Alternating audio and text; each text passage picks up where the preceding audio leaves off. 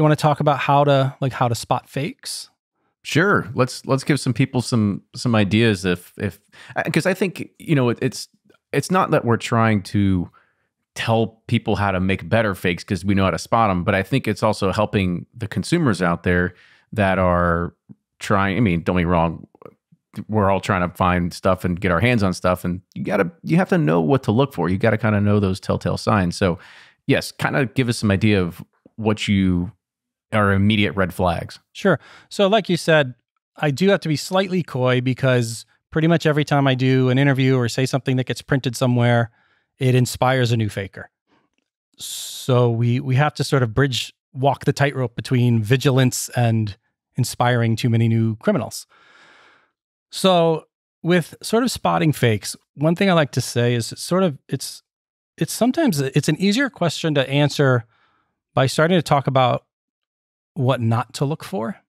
I get tons and tons of people contacting me or, or flagging me in some post somewhere saying, Hey, you look at this bottle. This is obviously fake. It's got a smeared laser code.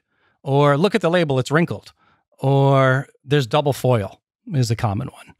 Right. And, and the double foil one's a good example because you got to think about these mass production bottling lines. Sooner or later, they're going to stick two foils onto a bottle by mistake. But why would a faker ever do that? You know, nobody that's spending time making fakes is going to perfectly replicate a bottle but not be able to do a laser code that isn't smeared or they're going to you know. So so so sort of the first way to approach it is to th- think like a faker is you look at a bottle and you say are these sort of signs on it that make me concerned? If i was faking this would i not be able to get rid of that? I mean it's really as simple as that you know laser codes is always the big thing everybody's ta- worried about laser codes and if you think about it, the laser coder is just a little gizmo that sits next to a conveyor belt. The bottles pass by it and it goes, codes them. Sometimes it's ink, sometimes it's etching, but those things can malfunction. The bottle can be at a weird angle. So you sometimes get those bottles where it looks like it's like alien writing, the laser code.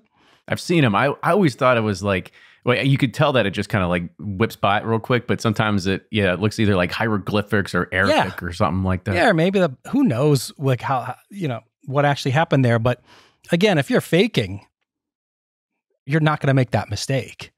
So then on the flip side of that, yes, most in the United States, most of the fakes we see, if not all of them, are refills. An old bottle is used, simply refilled and resealed.